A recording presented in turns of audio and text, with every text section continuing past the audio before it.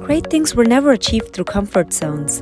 Each day is a learning experience, so never shy away from trying something new. Each morning brings a new ray of hope.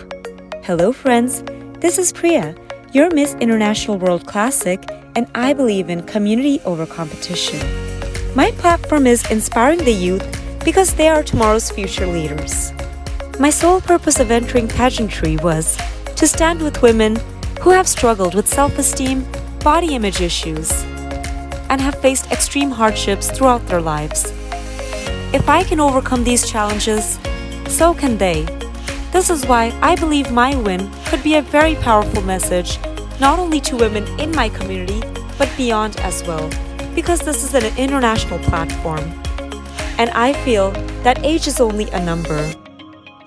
If you have the willpower and determination to succeed, you can achieve your goals at any point, at any stage in life.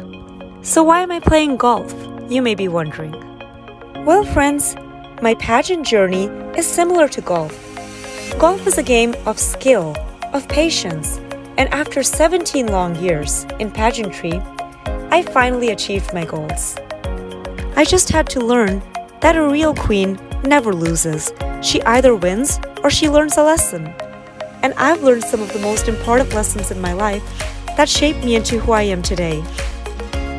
I've also grown to learn that resilience goes a long way.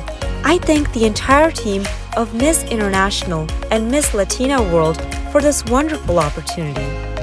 This is Priya, your Miss International World United States Classic. I look forward to meeting you all in August.